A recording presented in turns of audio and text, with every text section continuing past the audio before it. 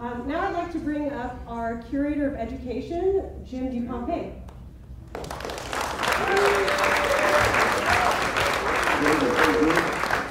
I have the distinct honor and pleasure to introduce our speaker tonight, and I'm going to read the bio, because as a former professor of mine, I don't want to go back and dock my GPA in case Our guest speaker this evening is a professor of biological sciences and anthropology at USC. He has conducted extensive field research on wild great apes, monkeys, and reptiles. His work is often focused on the ecological relationships among the primate species sharing a tropical forest ecosystem. He has conducted field studies in East Africa, South Asia, Southeast Asia, Central and South America. In addition to over 20 years field research on chimpanzee behavior, ecology in East Africa, he has collaborated in studies on mountain gorillas, endangered Asian primates, and other animals as well. He is the author or co-author of over 16 books and more than 150 scholarly papers. He holds a research appointment in vertebrate biology at the Los Angeles County Museum of Natural History and is involved in biology and conservation of endangered tortoises in Southeast Asia. His research has been profiled in numerous national newspapers, and he's a frequent guest on television and radio programs about human origins, animal behavior, and has published widely in popular and scholarly literature.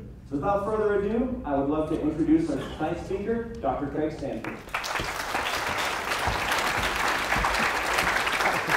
That was nice. Okay. Thank you very much, Jim. That, that was a 4.0 introduction. and I think that either you or my mom wrote that introduction. It was really, it's really nice. All right, thank you very much. Thanks to the aquarium. Thanks to Chicken of the Sea. Thanks to Julie, who organized this talk series and invited me. And I've talked, I think it, I just said earlier, I think every major venue in LA area, having been at USC for 20 some years, except this one. I've been here for events as you are, but I've never been a speaker. So it's honestly a delight to be here. Okay, so you might be wondering at this point, why is somebody who studies chimpanzees and has lived in Africa for a big chunk of his life speaking at an aquarium? And the answer to that is, will become obvious, I think. But let me just say about myself that uh, I have spent decades now studying the behavior of the great apes and other primates, but in particular this guy up here, the chimpanzee. But at one point in my career, um, I became also interested and involved in uh, marine biology. And ironically, I was a marine biology undergraduate back east many, many years ago. So I met a colleague of mine who some of you I think know, Dr. Maddalena Bearzi, who was at the time just graduated her PhD from UCLA. And she's a dolphin biologist, studying the dolphins of Santa Monica Bay. So we got together and wrote a couple of uh, scholarly papers, the kind that 50 people in the world, no, 30 people in the world will ever actually read. And then she suggested we write a book. So we wrote a little book together, which we, which we gave the cute title Beautiful Minds, which is about these two animals that seem to have just about nothing in common, except that they're mammals, chimpanzees or great apes in general, and dolphins or the, the toothed whales and dolphins in general. And we wrote a book about the really amazing parallels between them, and especially what those parallels might tell us about ourselves and the origins of intelligence on Earth, given that these are the two, these represent the two most big brained, intelligent lineages of animals on Earth. So my talk tonight is going to be very much about that. And as I said, and as Jim just said in the introduction, I've done, work, I've done work on a lot of different animals. Actually, in recent years, I've been doing a lot of work on reptiles and tur turtles and tortoises in particular. But tonight, my topic is going to be uh, really about chimps and dolphins and the parallels between them. All right, so when biologists talk about parallels between animals, we get technical about it. But a very simple way to think of this is the following. These two snakes, one of which actually um, was uh, my pet for many, many years in my office over here, um, are, are, absolutely unrelated. Okay, yeah, they're both snakes. But they have not had a common ancestor for more than 10 million years. And the fact that a casual observer, I mean, unless you're really super into snakes, you're going to look at these two photos and you're going to assume they are the same animal, the same species, when in fact, they are not. So, everything from the color pattern, the green with the white blotches, to the vertical pupils of the eye, to the shape of the head, uh, to the fact that they're lying as they're lying coiled over their branches or their perches there. All of that is due not to shared ancestry, but to what we call parallel or convergent evolution. They evolved in completely opposite sides of the world, New Guinea and Australia for the green tree python, and South America, the Amazon basin for the emerald tree boa, to, to occupy similar roles, similar niches, sitting on trees in a canopy of rainforest, waiting for rodents to walk by that they would strike at and ambush and eat for their dinner. And the process of evolution took them on these similar paths, again, not because of their shared genetics, that just made them both snakes, but all of the other details of what they look like are due to convergence. So this is a process that happens. We know it happens. We see it all the time. If you went to Australia, you'd find an animal that we call a mouse, in, in air quotes, it's not really a mouse at all. A mouse refers to this little rodent uh, and all of its relatives that exist by the billions over most of the world, and we can call it a placental mouse, meaning it reproduces the same way that we do, with a placenta and an umbilicus and so forth. In Australia, you have all those marsupial animals, right? We have one marsupial here. What's our marsupial in LA? The possum, right? But there are marsupials um, all over Australia and parts of New Guinea and some other areas as well. They are not mice but they look just like mice. If I showed you one, you'd really have to find some biologist to dissect it to figure out that it actually is not truly a mouse. Again, convergent evolution. So we all relate to this concept because we watch science fiction. And if you watch, if you watch science fiction, at least until recently when everything could be CGI created in wonderful and very innovative ways, we went back to, you know, partly people in costumes, but also there's always this idea that alien life extraterrestrials would be sort of, kind of, somehow like us for no really good reason, right? But in fact, most biologists who think about this stuff, uh, it's a whole other lecture that we won't do, think that actually the, the, the finite possibilities of living on Earth, uh, on an Earth like planet, might lead to something that looked roughly sort of human ish in terms of how it moved around and how it, how it operated in general. Again, that's just called parallel or convergent evolution, if such a creature actually existed. All right, so to get specific about our lecture tonight, these, this list of traits is what I'll be talking about. If we compared cetaceans, meaning uh, dolphins and whales, but more particularly for our purposes tonight, let's, let's think about dolphins and the great apes, especially chimpanzees, we have this suite of five traits in common they both have big brains. They both live in very complicated, fluid societies, which we give the label uh, fission fusion to. And I'll talk about that a little bit later. It took Jane Goodall uh, 17 years to figure out, from 1960 when she began her work to the late 70s, to figure out that chimpanzees did not live in a totally formless, amorphous, promiscuous society, which is what it looks like when you just watch them kind of casually for a few months or a few weeks. They actually have a structure, and that structure is a complicated one that we call fission fusion. I'll come back to that. And dolphins, bottlenose dolphins in particular, live in something very, very similar. Um, learn cultural traditions and sophisticated communication. Well, we know all, you know, if you know anything about dolphins, you know that they're quite sophisticated in the way they communicate, and you know that there are traditions. You may not be aware of some of those cultural traditions, but I'll talk about them tonight. And chimpanzees are truly a cultural animal. When Goodall began making her discoveries in the early 60s, it genuinely revolutionized our view of not just them, but our view of ourselves. Um, male alliances we'll come back to also. Male alliances which do a lot of nasty stuff. So, you know, dolphins have that, that frozen smile that some of us who grew up in the flipper generation of, of TV thought of them as being kind, gentle, fuzzy, warm animals, and they sometimes are, but they often are not. Same applies to chimpanzees, especially the males. And finally, coordinated hunting behavior, and we'll come back to that as well. So they have this suite of characteristics, even though they don't have a shared ancestor for 100 million years of Earth's history. Now, there are other animals on Earth that have some of these, but there's no other group of animals that has the whole suite in common as these guys do. That's really, really interesting. We take an animal that looks sort of like us, a chimpanzee, very much like us. We take another animal that looks more like a torpedo or a cruise missile or something, a dolphin, and yet they have this convergence. How in the world did that happen and what does it mean? All right, before we get into that, what I'm going to do now is I'm going to spend the next part of the talk talking about my own work with chimpanzees over many years, telling you a bit more than you might know already about what chimpanzees are all about, I have a new book that came out that was on one of those slides, The New Chimpanzee. It's about the last 20 years of discoveries about chimpanzee life, chimpanzee behavior, and I'll, I'll kind of highlight some of those. And then I'll segue into talking about dolphins and give you some comparisons. Before we do that, in order to begin, let's look at our family tree. So, so All right, so this is a serious topic, okay? And I don't know, I don't know what you find so amusing, but this is our family tree as we understand it in 2018.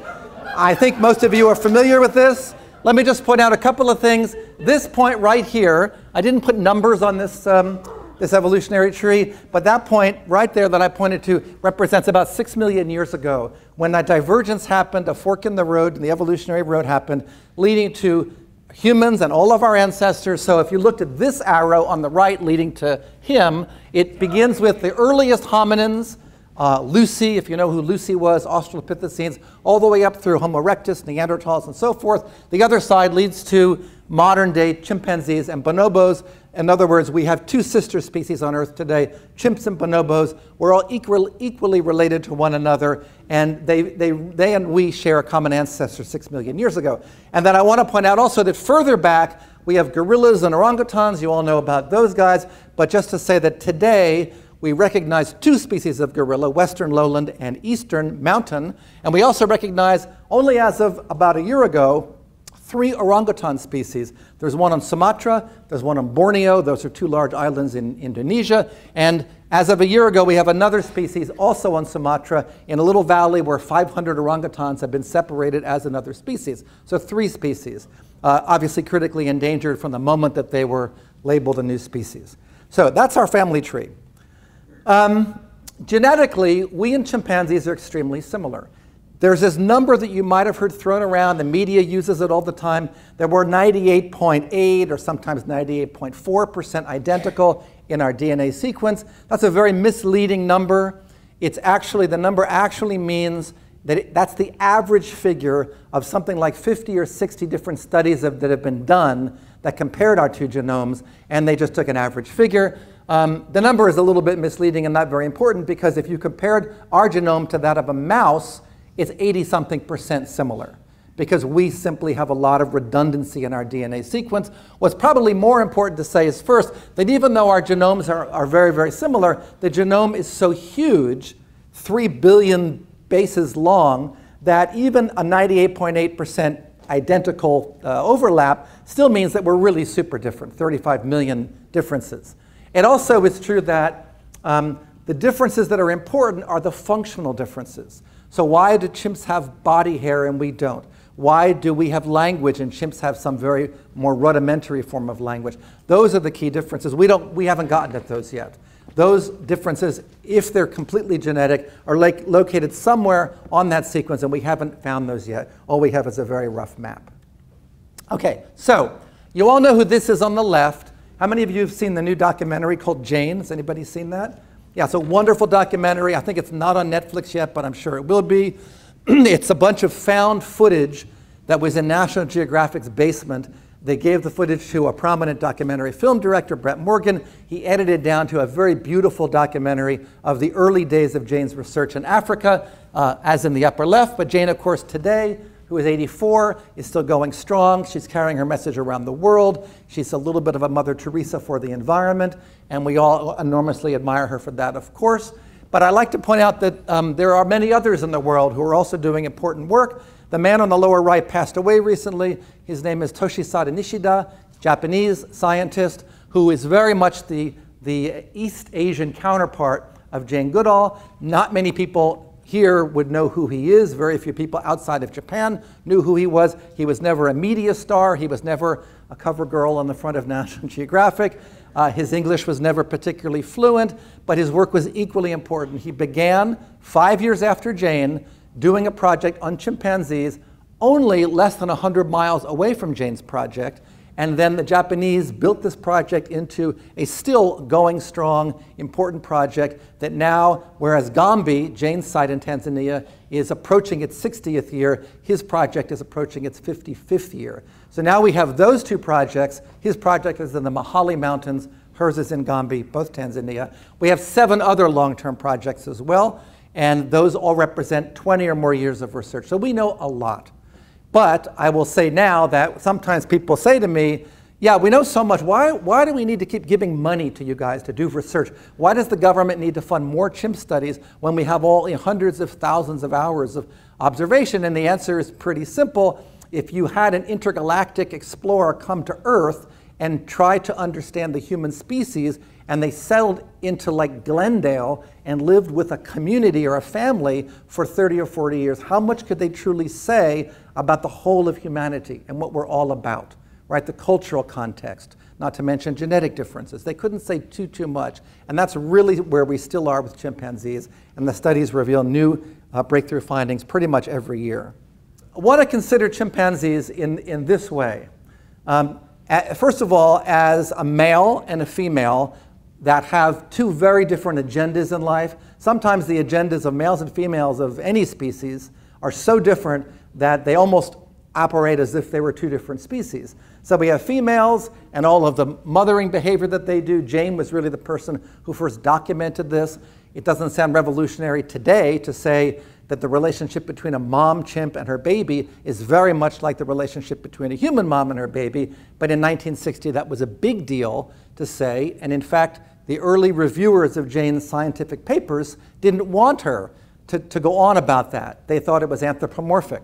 They didn't want her to use names like this is Fifi, and you may know that name. She's the daughter of Flo, who was one of the famous chimps in the 60s that Jane first studied. Reviewers who were scientists working with like lab rats said we, we, don't, we don't name our lab rats Larry and Walter and Mary. We give them code names, so you should do the same for chimps. And Jane said, no, you're missing the point entirely. The point is these animals have individual personas that matter in their lives, that dictate the course of their lives. And that's why we call them, we, we name them and we consider them individuals. And today we all accept that and embrace that. There aren't any skeptics about that. And then on the lower right, you have the males who have their own separate agenda. The, the bottom line goal of both sexes, of course, is the same it's reproductive success. It's, it's, it's mothering or fathering babies that grow up successfully. But the way they achieve those goals, very, very different. And I also will point out in passing, these are two males at Gombe who are very close friends, and you can see how different they look. So chimps have this amazing diversity, even in the same gene pool. With, you know, here's a guy on the right who's kind of a cannonball body and a ruddy, a ruddy freckled face, and the guy on the left was kind of lean and very dark face. There's a lot of variation, and when you're a researcher, it, it just is, it's like that. You learn chimps' identities no, it, no, with no more difficulty than you would learn the identities of, of 50 people you were living with after, you know, within a few hours or a few days. Okay, so the life of a female chimpanzee, and then we'll consider males, the life of a female chimpanzee looks something like this. And it's startlingly like a human lifespan in most respects. First of all, born after an eight and a half month pregnancy, right? So very much like ours. Then years of physical dependence on the mom, meaning they're nursing, they're drinking milk. If the mom should die, the baby will certainly die. Adoption has been recorded in chimpanzees very, very very rarely, a handful of times in, in literally now hundreds of chimp years of observation. But then, importantly, after weaning, after the mom's no longer willing to, to nurse the baby, the, the baby who's now a juvenile still has years of being psychologically dependent on the mom. And if the mom dies at that point, the baby may still not survive, even though it can feed on its own and, and travel on its own, because of this sort of an orphan effect that there's a psychological trauma that's happened. No one is going to take that uh, juvenile under his or her wing. And so, really, uh, an offspring of a chimpanzee mom is dependent in some way for maybe a decade or close to a decade on the mom. So, they lead these very long, slow lives, very much as we do. Then, puberty, which happens at roughly the same age in a female chimp growing up as it would in, a, in one of our own girls in our own species. First baby happens in the mid teenage years most typically, and then uh, birth about every five years uh, until death. And death in the wild comes by about age 40 or, or less. Uh, in captivity, where there, you know, you don't have any disease or predators to worry about, chimpanzees routinely live to be 60 or into their early 60s. And as I note there, there's no such thing as menopause. So it's interesting that in our own species, um, our, our, our, body systems, you know, brain, body, whatever, heart circulatory, they all age at sort of more or less the same rate, except that the female reproductive system doesn't, right? Because it, menopause, the cycling ends by age 50 or so, but then lifespan continues for decades more potentially.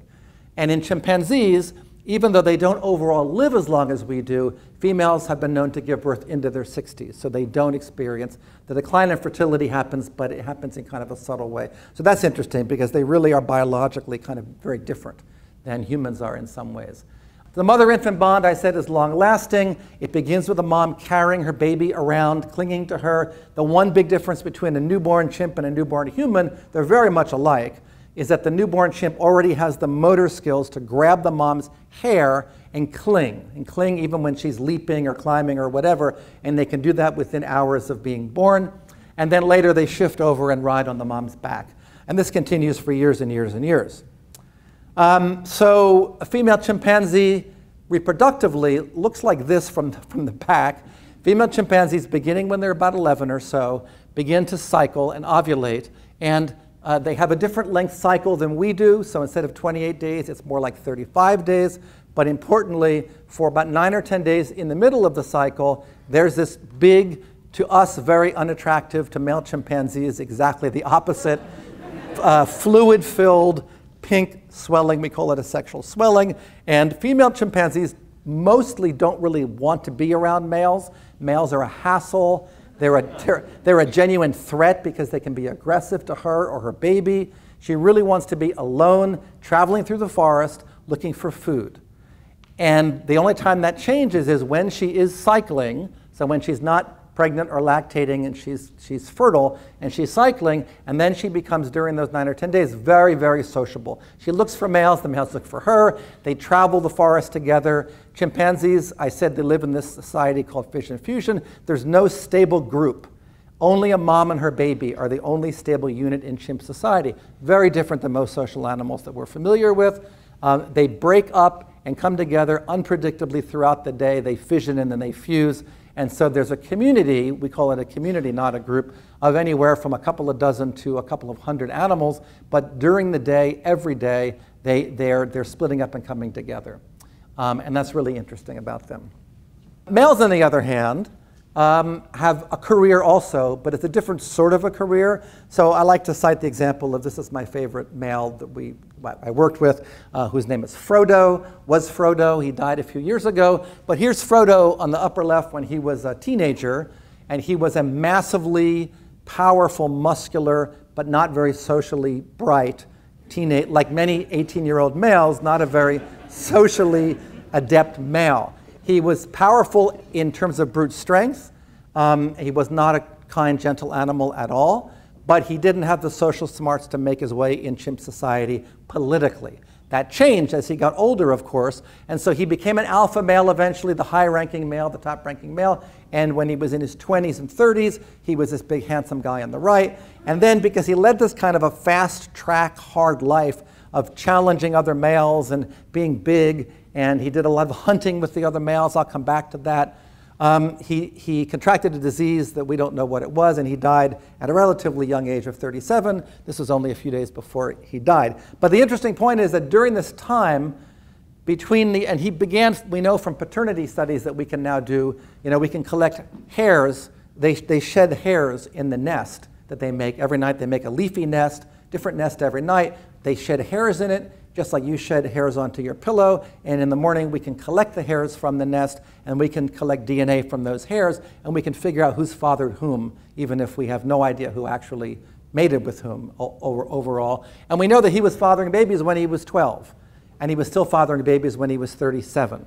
So he's the same male genetically, he's just not the same male visually. So that's interesting that the females seem to like him and prefer him. He was from a powerful lineage. Female chimpanzees uh, are, and I don't like to use this word promiscuous, it's a human term that kind of sounds like a negative, but female chimpanzees are wildly promiscuous. They mate with many, many males. My colleague Dave Watts at Yale recorded, I think, the maximum figure, which was a female at his study site in Uganda, who mated with 18 males a total of 65 times in one day. And so why do they do, why do, they do this? they do it for a couple of reasons. First, it's strategic to form these, even if they're brief alliances or bonds with a lot of males. Males are nasty, they're aggressive, they're not nice to you, they're not nice to your offspring. But if you form these alliances with them, you might hope to mitigate their bad behavior in the future. And also, maybe more importantly, when you do this, if you mate with, that's an extreme number, 18 males, but if you mate with uh, eight males at the same time that you're ovulating, then the baby is born eight and a half months later, and each male has a one eighth chance of having been the father. So that's 12.5%. That may be enough of a chance that you're the father to inhibit you from being aggressive toward that baby, which males sometimes are aggressive toward babies of, uh, that might be fathered by other males. So it's a strategic behavior by female chimpanzees, this, this kind of a wanton mating with lots and lots of males. So when Goodall went out in the early days of her research, I was saying that she, you know, got labeled as being somebody who anthropomorphized and she should, she should be more scientific. But one of the things that she wrote about that we hadn't really thought that much about was how kinship influences chimp society. These two males on the right are brothers. That's um, Freud in the back and Frodo in the front. And, you know, again, a, a little baby here, who's, uh, that's actually one of Gaia's offspring. And the, the role of kinship is profoundly important right? So these males are, you know, maybe you want to think of this in Shakespearean terms. These males have all sorts of reason to cooperate, to conspire, and they'll use these alliances to overthrow more powerful males. In, individually, they don't have the ability, either the strength or the bravado or the cunning, to overthrow a higher ranking male and try to assume the top rank in the society, in the community. But together they do. And then after they do that, if one of them achieves the top rank, or maybe they even share the top rank, then if they're brothers, they may continue to kind of live sort of as an alliance for some period of time. But if they're not brothers and they got together anyway, because you know, animals B and C can overthrow animal A, then that conspiracy kind of falls apart and they turn on each other.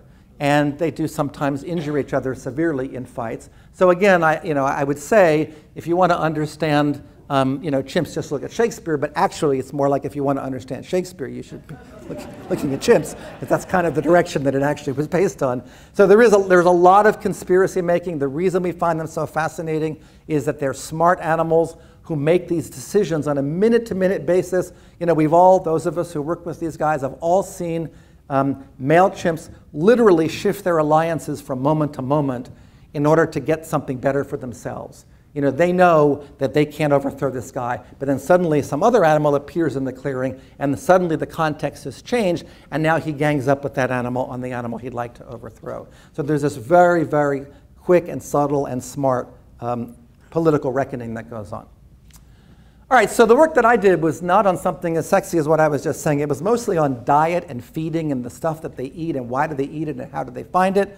So chimpanzees are, are amazing forest rangers. They have an extraordinary spatial memory. It's like if I locked one of you into Whole Foods for a year, no, for 10 years. And, and it was the biggest Whole Foods, uh, it was Whole Foods that was the size of all of San Pedro. And you lived in it 24 7 for years and years. You would know where everything was, right? You'd know what month the peaches were, were going to be good, and you'd know where to find the frozen this, and you'd know everything because even though it's a big, big place you're living in, it's your life. It's your day to day life. And that's the way it is for chimpanzees.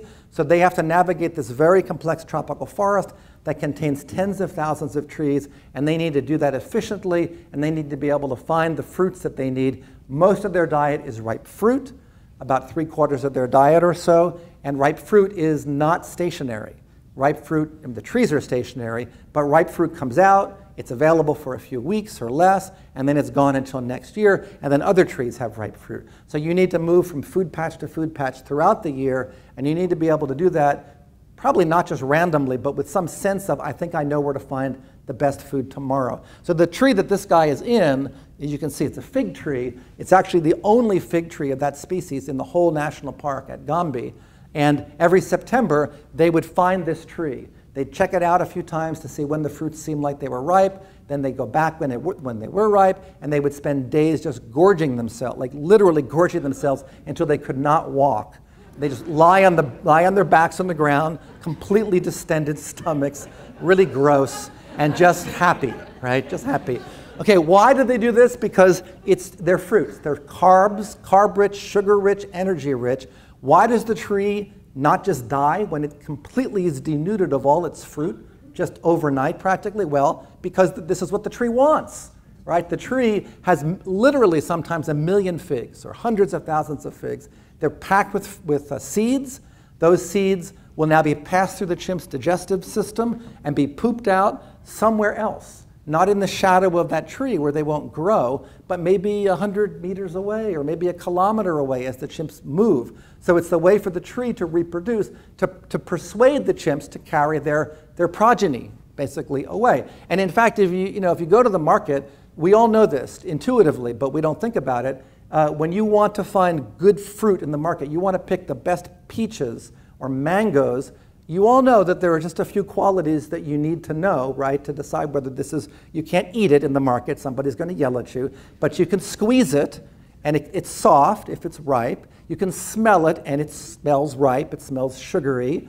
Um, and it also changes color, right? It's not green anymore, it gets to be orange or red or yellow. And those are all the signals that the chimps use as well. And guess what? All of those features of fruit that we use as well as the chimps do evolved for exactly that purpose to try to persuade somebody to come along and pick them and take them, all, you know, the ancestors of mangoes and peaches, to take them off somewhere, eat them, and then poop out the seeds or the pit somewhere else so that it could grow into a tree. So it's a nice system that's evolved.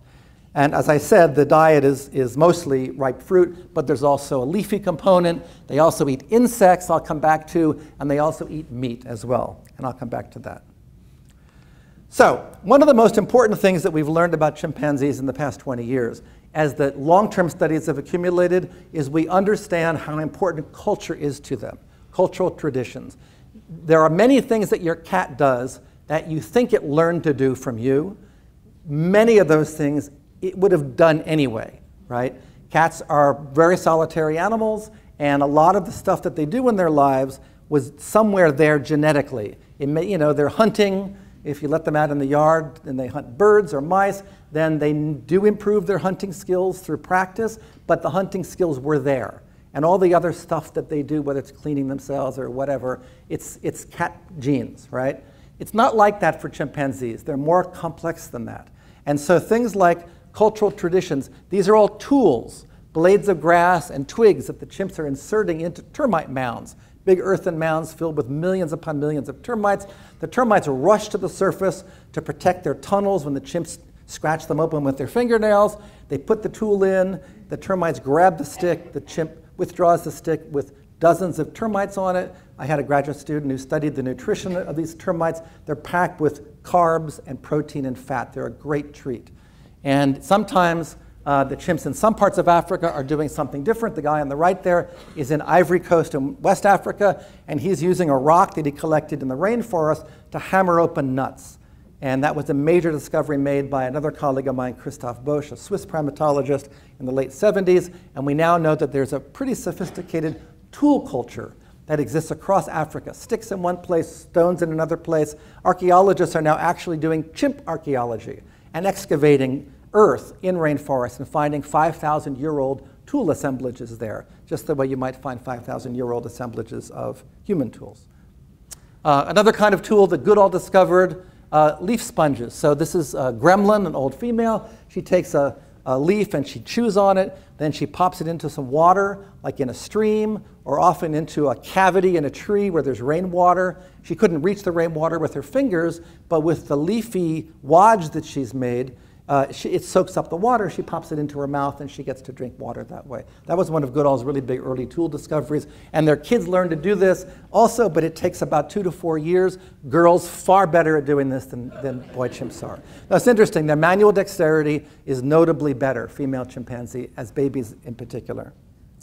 So, uh, these traditions, and again, here's a, here's a female hammering, and her baby is nursing, but maybe also watching to some extent. So there's a lot of observational learning. Some reports that the mom may actually mold the baby's hands a little bit, kind of the way that a human mom might try to teach her child to, you know, to do penmanship by gripping a pen or something like that. Uh, so there's a lot of this that happens in chimp society, and we used to argue about whether chimps were cultural in the way that we are or not, and now we have to acknowledge that they have a simpler version, but nevertheless a real version of cultural behavior.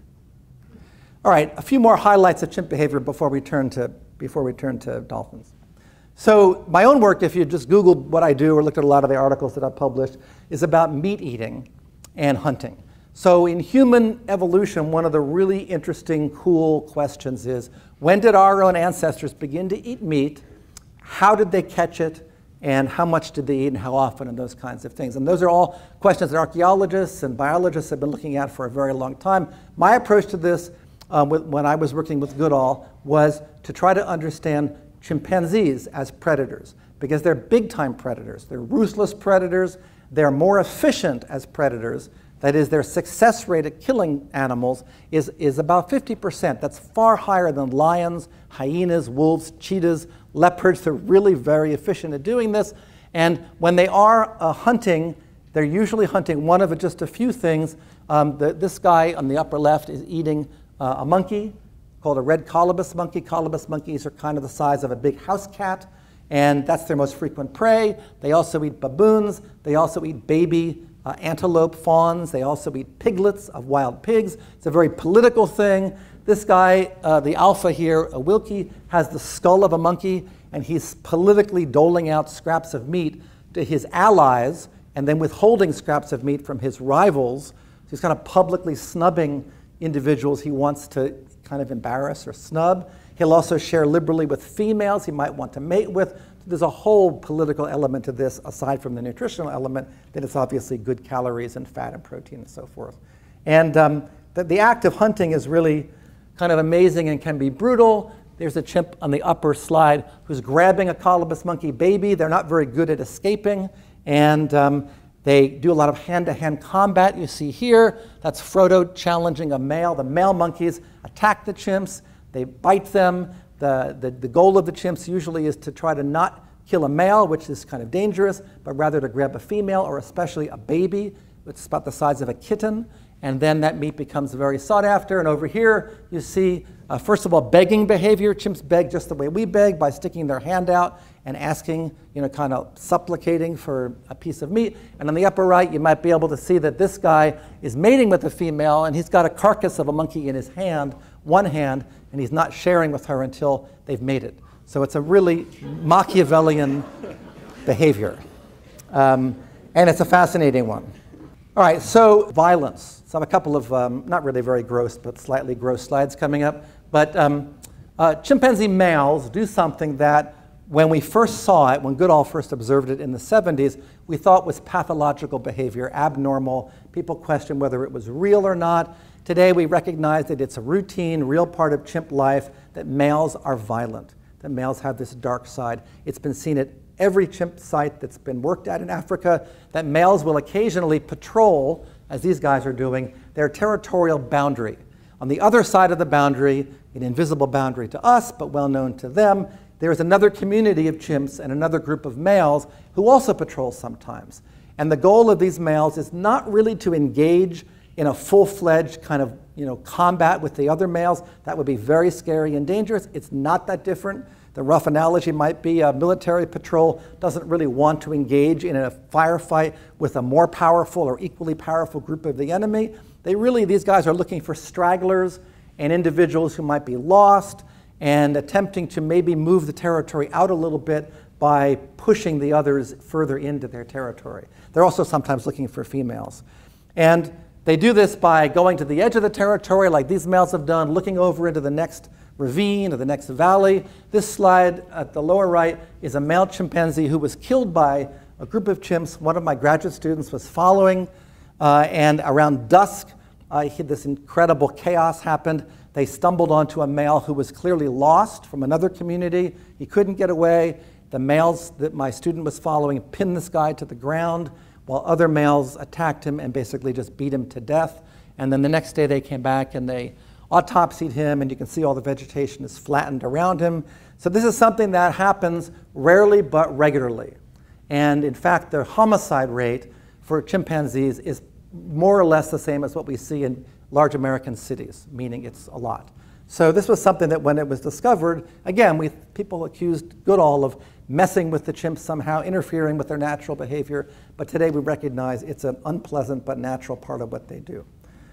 Um, these are not chimpanzees, these are bonobos, but a lot of people have looked to chimps and bonobos to try to understand the roots of our own sexuality. And I'll just point out that bonobos are kind of special. For those of you who know about them, this is my only bonobo slide. Um, it's my only porn slide also. And it's, um, it's uh, two bonobos in the San Diego Zoo uh, uh, who are actually both female who are engaging in sexual behavior. And they do this, um, they do this in order to reconcile after a spat. They do this in order to reduce tension in the group.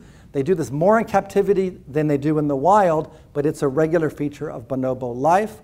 And males also do this with other males, and males and females also do this together. They're simply very sexual. And the important thing to point out here is that, as in humans, it's not just for procreation. That's the main, that's the bottom line. This is something that's done as social communication, bonding, reconciliation. It's not just about creating, and in every other animal that you can think of, mating happens for the purpose of creating offspring, right? And when that is not possible, um, it basically doesn't happen, or it very rarely happens, but bonobos do this routinely, as we do. Um, and so last couple of chimp-related slides.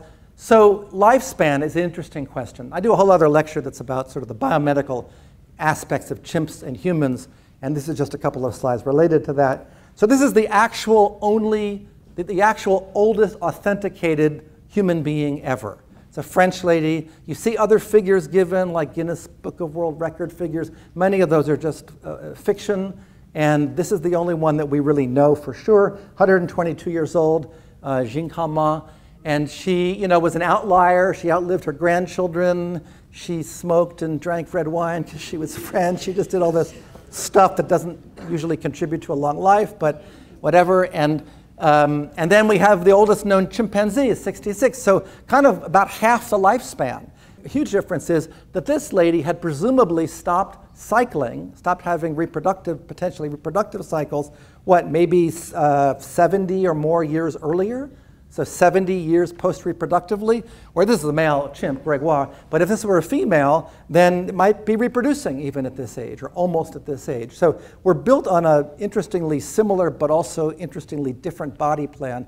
And those who have, over the years, tried to justify biomedical experiments on chimps because of our similarity uh, a, a, lot of those have been invalidated, including a whole host of cancers that we get that they don't get, which is kind of another lecture. And then I'll just mention finally the HIV situation. You know, we know today perfectly well that HIV um, and, and AIDS, the disease that, it, that follows from it, is uh, a disease that originated in chimpanzees, where it was a different virus called SIV, simian immunodeficiency virus. We thought for a long time that SIV was harmless in chimpanzees, and now we know because of more data and many years of study that it's not harmless. It doesn't kill them outright. It doesn't lead to a disease like AIDS so regularly uh, or so rapidly, but uh, chimps who are SIV positive are much more likely to die when they have the flu or a cold or when females are pregnant or when there are any, are any stressors in their lives. And that's something that we've only known for about the last 10 years. So we believe that SIV is a virus that evolved maybe 5,000 years ago or so, that popped in, that mutated, and chimps have had time to uh, adapt to it, meaning many have died. Those that survived had some kind of immunity to it. And HIV is a much, much newer virus, only 100 and some years, so that kind of process has not happened with us yet. So that's, again, a revelation just of the last decade or so in chimp research. Then let me just turn to dolphins. I, I, went, when I was doing this work and writing this book, I went to a couple of the marine mammal meetings, huge meetings. There are lots of marine biologists who work with whales and dolphins or captive dolphins, wild dolphins, and, and I, would, I would always talk about how difficult it was to study chimpanzees because you're in a tropical forest, you're in another country, you're dealing with tropical diseases and poisonous snakes and sometimes political chaos and you're doing lots of hard work. I would lose like 25 pounds in six weeks of doing research. And, and then they would all say, yeah, yeah, but your animals don't live underwater, deep underwater. So for the most part, studying dolphins and studying any marine animal is very, very, very difficult. And it took a very long time to get anything like the kinds of observations that we can get in a short time on animals that live in the air or live in the forest, right? Um, even people who study dolphins off the coast here, like my colleague Maddalena Bearzi I mentioned, are dealing with murky water, cold water. You can't get into the water and swim with the dolphins, contrary to the views that many might have, because the dolphins are just gone like that. So you need to figure out ways to study them from a boat. The logistics are really difficult. So I feel very fortunate now that I did my work in the tropical forest and had all sorts of diseases and stepped on vipers and all that kind of thing. So we have many studies of dolphins, but not all that great information. But of course, the importance of this is that these animals are built on an utterly different body plan, share most of the same organ systems that great apes have, of course, and that we have, and that they are extraordinarily smart. And every year, as with chimpanzees, every year we're learning more and more about the cognitive abilities that these dolphins have. I'm talking mainly here about bottlenose dolphins, by the way, but I'll mention a few others. And the, the fact that we know what we know is due to a few extraordinary circumstances. So, for one thing, you know, here's a, here are a couple of river dolphins, Amazon river dolphins on the right. We know so little about these guys, and they're in such danger of extinction. There are various species around the world, um, Asia and Latin America especially, because they live in extremely dim, murky water. They're little, they're persecuted, they're caught in fishermen's nets and whatnot. So, we really don't know much about their social lives. Um, on the other hand, there were a few extraordinary circumstances. So this is a, of a place called uh, Shark Bay in Western Australia near Perth. There's a very famous long-term study of bottlenose dolphins that are living in a place called Monkey Mia and living in a bay where for decades now they have been uh, receiving food from picnickers on the beach. And after some period of time, the community, and dolphins live in communities just as chimps do. They don't live in groups or pods or whatever. We call them communities. Um, at some point, some of the community began approaching the beach to get these handouts. And then they became so habituated to people, they began to come out of the water onto the beach. And you can YouTube this and look at some of these videos, they're kind of amazing. And people would wade down into knee deep water, and the dolphins would literally follow them out of the water onto the beach until they could practically not get back into the water. So, um, a couple of old friends of mine who were graduate students at the time uh, at University of Michigan went out to Shark Bay and they set up a project. And they did this for years. And they were joined by Australians and they were joined by many Michigan graduate students and postdocs. And they learned a great deal about these guys because they were incredibly observable. They were like Jane Goodall's chimpanzees, utterly used to people. And the other thing about Shark Bay that was a really nice feature was it's a shallow, crystal clear water bay. So you could be in a, in a small boat and you could get really nice observations of the animals, even when they were not you know, here on the beach begging, but when they went offshore and were behaving more like dolphins are supposed to behave. So bottlenose dolphins, uh, we've all seen them. You know, you don't have to go very far from where we're standing right now to see them. They are, they are our inshore dolphins. They live in shallow water just beyond the breakers typically. Um, if you want to see the other dolphins, you need to go further off into the deeper water. And the channel that's right here out of, out of Long Beach Harbor is a place where you're going to see several dolphins, maybe five dolphin species. These guys are the inshore species. What's interesting is, and work that was done in the last 20 years or so, is that the dolphins that you might see when you're at the beach in Venice or wherever, and they're just beyond the breakers in shallow water in twos and threes, um, they're not typically the same dolphins that you would see if you went to Catalina. And there are other bottlenose dolphins in the shallow waters around Catalina and the Channel Islands, but they're a different gene pool. That is, they don't cross back and forth just randomly. They're highly adapted to living in shallow water and feeding in shallow water. So we know a lot about bottlenose dolphins, right? They're all over the world. I've watched them. I watched them in Scotland. The population of bottlenose dolphins in Scotland, if anybody's ever seen these guys, are enormously bigger. They're almost black. They're really, really dark. They're considered the same species. Um, and you can find them in tropical seas. You can find them in, obviously, Scotland is very cold water, um, but they're truly worldwide. They live in these same fission fusion societies, and uh, they, they're very much about male alliances. And I said earlier that chimps feed on fruit, which, of course, the fruit trees don't move, but the fruit kind of does move because one month this fruit is available and then it's gone. And then a month later, this other fruit is available and they may be miles apart. And the chimps have to kind of map where they're going to go and what's available and travel all over the forest. So they're feeding on a, a movable feast and not a sedentary one. And dolphins, of course, do the same thing, except they're feeding on schools of fish that literally are moving every minute and every day. So my, my colleagues who worked in Australia recorded things that, that we hadn't known at that point about bottlenose dolphins. And I just also mentioned they were in, most of them were in a psychology department at Michigan at the time. The psychologists were like, why are you studying dolphins? You're psychologists. And they said, because there's something important here to understand about the mind based on our work on dolphins. And in the end, they were, they were vindicated because the work that they did was really very, very important. So we have males swimming synchronously. They, they demonstrate their alliances and their kinship not by grooming one another, which is what chimps often do, you know, running their hands through somebody else's hair and picking out parasites, but by this stuff. Um, males also get together, and these are three males who are herding a female. So males will um, invade basically other parts, other communities. They'll try to separate a female. They'll herd her. They'll, um, they'll forcibly mate with her. They'll be kind of brutal to her. They do a lot of nasty stuff that we also see male chimps conspiring to do. And this was something that wasn't really known until these guys did the research in, back in the 90s. And then we have a lot of, of, of, behavior, tail slapping, and communicative behavior. That is the social communication that bottlenose dolphins engage in. So it's a much more socially complex set of behaviors than we used to think that they did. Um, I mentioned uh, cultural traditions and I showed you some chimpanzee tools, and you may have been thinking, well, there's no parallel here because obviously bottlenose dolphins don't have hands or fingers, so what are they going to be doing tool-wise? But we now know that they do use tools, right? So these are natural sponges that occur in Shark Bay, and for about, I think, several years, the researchers saw these particular dolphins only uh, swimming with natural sponges attached to their, their rostra, their beaks, right? They're not, they're not their noses or their snouts as we like to refer to them, but their, their beaks. And they didn't know what they were doing with them or why. They noticed, and this has been published since many times, that it, it was particular um, lineages, related animals usually, that were doing this. So it would be an individual dolphin might learn by watching his or her mom do this behavior, and then they would begin doing it. It turns out what they're doing with these sponges is they're using them as cushions so that when they go down into the bottom and they dig in the sand looking for stuff to eat, mollusks and so forth, that they have some protection against the abrasion of the sand. So point is, it's a tool.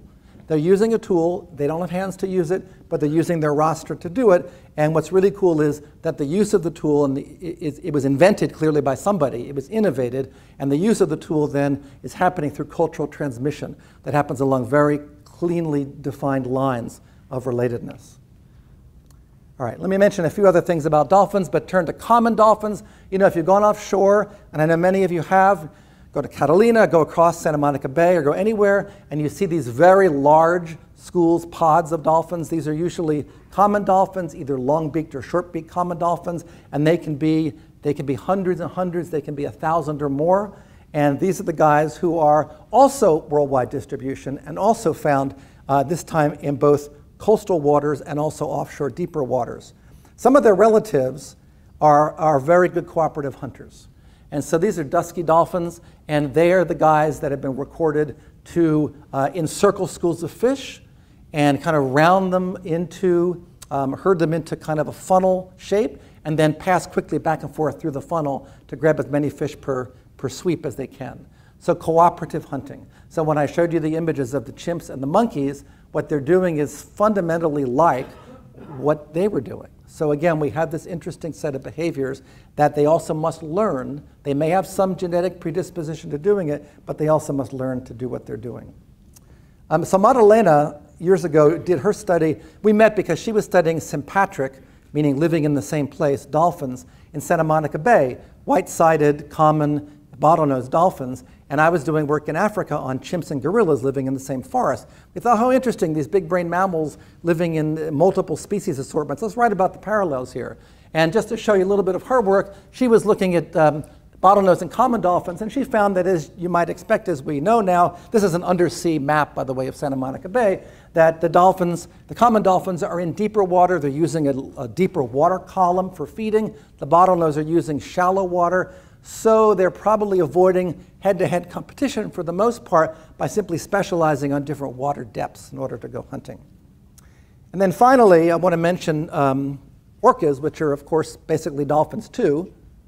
So orcas are fascinating and still not very well understood. One of the things that's not very well understood, I, was, I did a trip to Antarctica with some USC alumni recently, and we saw the whole multitude of now we don't even know what to call them yet. Kind of, we call them orcas type A, type B, and type C. Perhaps, perhaps multiple species that look very much alike, but live in the same place with one another.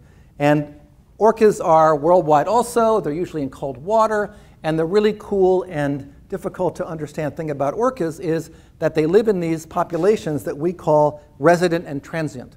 We call them resident and transient mainly because when they were originally discovered a long time ago, people thought that literally there was a resident orca population in a place like the waters off Vancouver, for instance, and then there was another transient population that was just passing through because they didn't mingle at all. They didn't mate with each other. They didn't associate with each other. They literally were like two separate species on top of one another without, without any interaction, even though they looked almost identical. And then we learned that over time they were actually behaving differently and eating different foods. So we learned that, for instance, in Alaska, you have the transient population eating almost entirely seals and sea lions, right? And not birds. And then you have the resident population in exactly the same water eating mostly salmon. So that was really interesting. You have two pretty much identical populations that don't mate with each other and have completely different diets, so different traditions of what they eat. And we're still trying to understand this. The picture is more complicated than when I made this slide because now there's a third, at least a third, um, I, don't I don't know of a name for it other than A, B, and C, um, type of orca that's also found in some of the same waters. And you've all seen this, these uh, documentary footage of the orcas coming out of the water in Patagonia to try to nail those um, sea lions. So this is an old uh, figure that we still sometimes like to refer to, and that is just to point out that the, the degree to which the brain is an important part of the body is greatly elaborated, of course, in humans, right? We have this mushroom size, mushroom shaped brain that just expanded so much in recent years. We're kind of built like a, a long a bean pole balancing a plate on top or something, right? We have this tall, skinny posture and a big head filled with a big brain. Uh, great apes and the, and the odontocetes, the toothed whales and dolphins, are the other group that are also the most encephalized groups on the planet. So you can look at this two ways, actually. You could say, well, isn't it interesting that we have this one planet that we know about, just one planet that we really know about, and on that one planet, there are these two lineages of big brained animals. That suggests that that this kind of thing might be, might be common in, in the universe if we discover life elsewhere.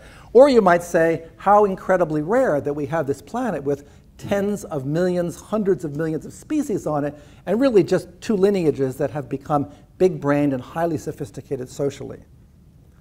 So, last couple of slides here the parallels between the two. What did they suggest about the evolution of intelligence? So, these traits again represent a suite that are found, some of them are found in other animals. If we were talking tonight about wolves, we could see some of these traits present because they're socially sophisticated in their own way. They hunt cooperatively and so forth. However, there are no other groups that have all of these things occurring together other than the dolphins and the, and the great apes.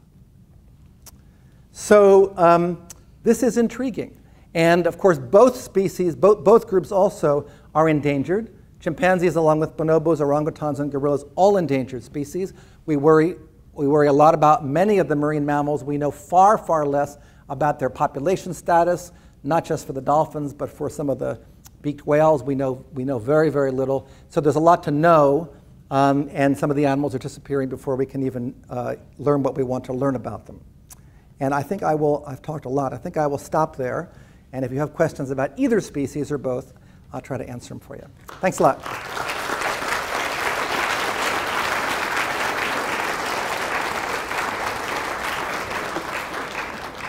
Where do we get funding to do this research? Um, there are a lot of found, there, there's the National Science Foundation, of course, that's the US government. The funding environment is really, really bad these days, probably not surprising. So a lot of the big funding agencies, what is it, about 4% or 3% of proposals are accepted so that's really low. Um, a lot of foundations are out there. So a lot of my graduate students, you know, graduate students are used to doing work on a shoestring budget, um, are getting money from foundations, private foundations. Um, in my own field for chimpanzees, you have National Geographic, the Leakey Foundation, which is in San Francisco, and many others like that, all of which have budgets that are that are modest, but where a few thousand dollars is available if you apply and it's competitive. So that's kind of been the tradition for most of us. I'm always amazed that I have colleagues at USC who do, you know, astrophysics or they do some sort of chemistry. And they complain because they only have $5 million, $10 million. and we, we I, will give you one, one example. I, I bragged once to my colleagues in biology at USC uh, who do great stuff and they do a lot of marine biology, that I ran a project I didn't talk about tonight for 10 years in Uganda on gorillas and chimpanzees. And it, it was, some of it was, you know, uh, really high profile stuff that got covered by the media. And I ran the entire project for 10 years for $300,000. That included four employees, me going back and forth, graduate students. That's $30,000 a year. And they looked at me as if I was from Mars because that's so, that's so little. Um, so you can do really good science with with not so many resources. It's just not easy. And it depends on the field that you're in. Yes? Has a chimpanzee ever met a dolphin? Oh, you know, that's a really great question. Nobody's ever asked me. I mean, maybe one that fell off a diving board. I don't know. No, I, I, really don't know. I would guess that somebody's you know tried something like that. Certainly video, but um, there's a little bit of a medium problem, right? Water versus air. Chimps are notoriously awful at dealing with water. I mean, in a very serious way. Chimps have drowned in zoos in water that was only up to their waist because they, unless they're savvy about water, they freak out and they literally, I mean, there, many zoos have put exhibits in, spent millions of dollars with a moat and not thought about the fact that the chimps don't know what to do with a moat, so they just fall in. So that wouldn't be easy, but if you had water savvy chimps, um, you could have some sort of an interaction, sure. I don't think it's ever been done, though. Yes, yeah. How do they know their own kinship? Probably don't understand their kinship in the way that we might understand it. But they certainly, if they grow up together, same mom, and they're socializing from the time they're babies, they learn to, they learn to treat these individuals differently. So they don't have this, they don't have the abstract conception of kinship that. The males will be less aggressive toward each other if they're brothers. But you mean, so, so the male would be less aggressive toward a young chimp because it would not be a conscious thing, but there would be a long term tendency cognitively that if there's a 12% chance or a 30% chance that you're the father, you don't, you don't kill this baby or you don't attack this baby. They don't, have to, they don't have to know it consciously, but it's something that over, over millennia would have been something that select, was selected for by evolution. That individuals who did kill their own babies would, of course, be, they'd be losing their own genes. They'd be eliminating their own genes, so they wouldn't do that.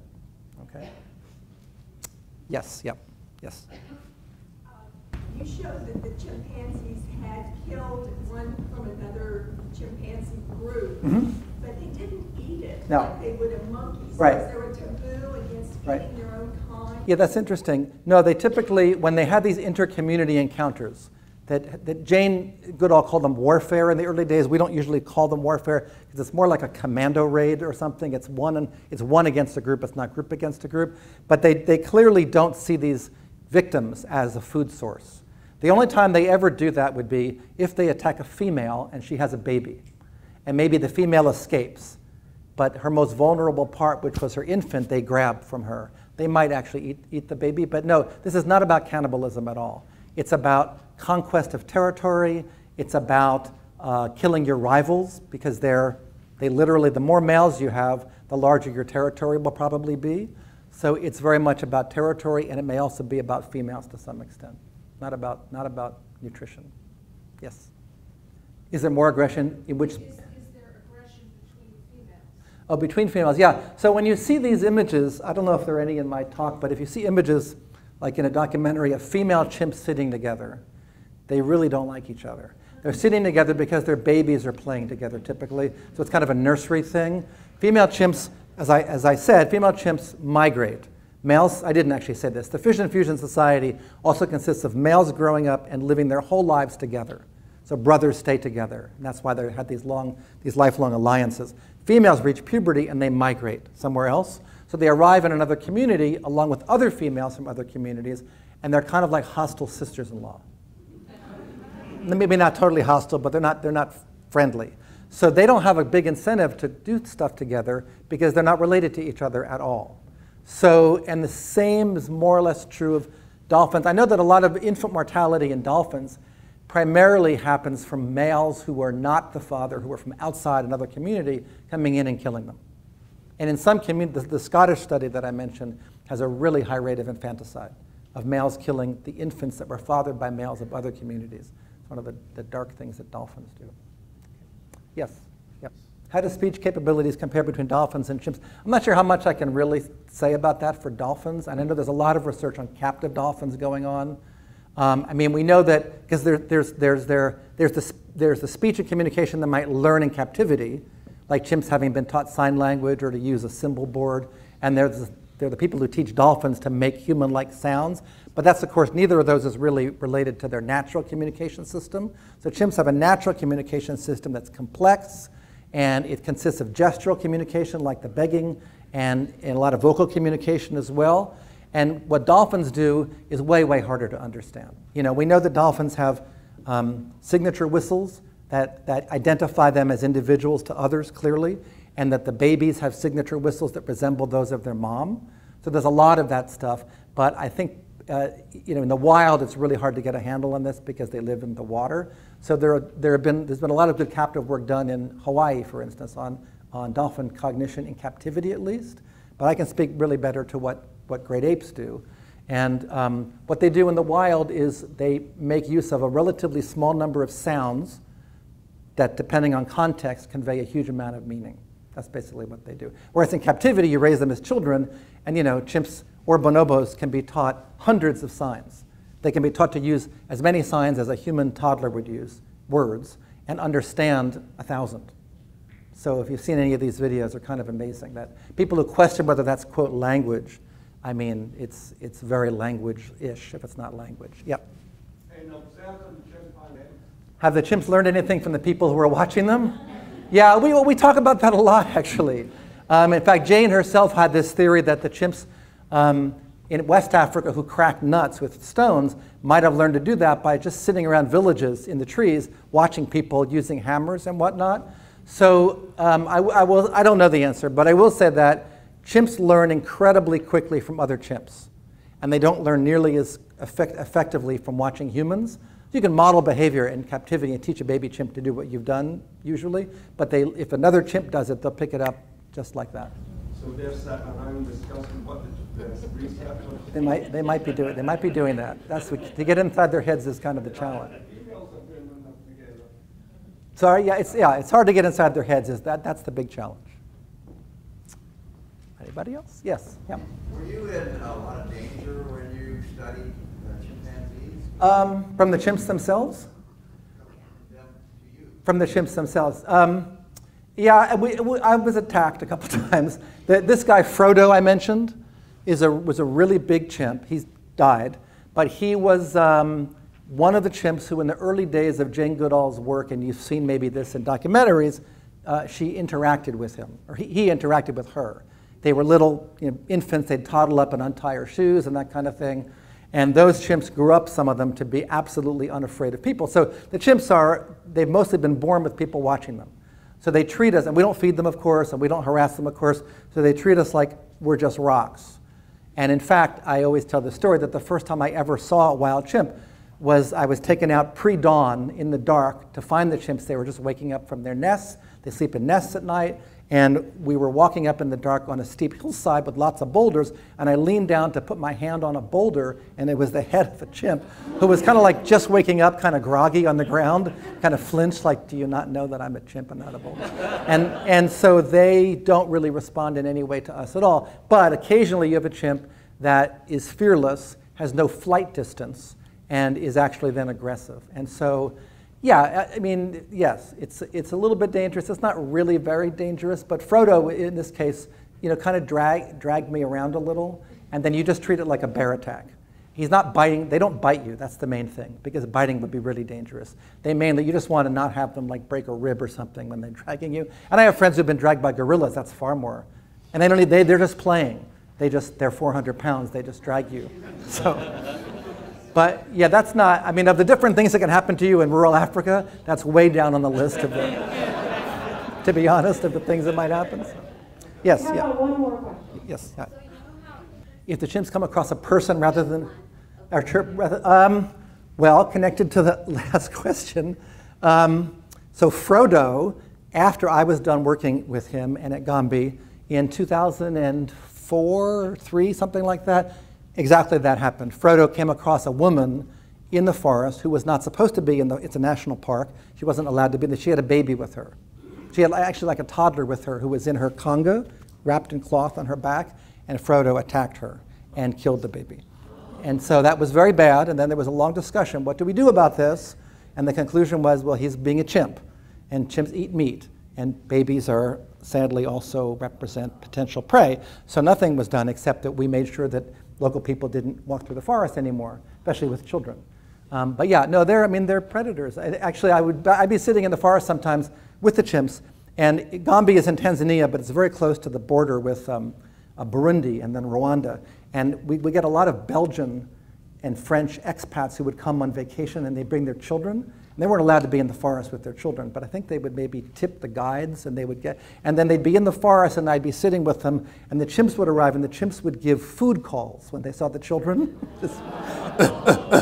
and the Belgians would say, oh, it's so adorable, what are they saying? Oh, they're thinking they want to eat your kid, actually. So, so yeah, so the answer is that, that, but that was a rare instance. That was a very rare instance. There are incidences, you could Google this, of chimps going into villages and taking children out of homes. Yeah, because they're, they're predators. We don't like to think of them that way, but they are predators also. Thank you. Please join me again.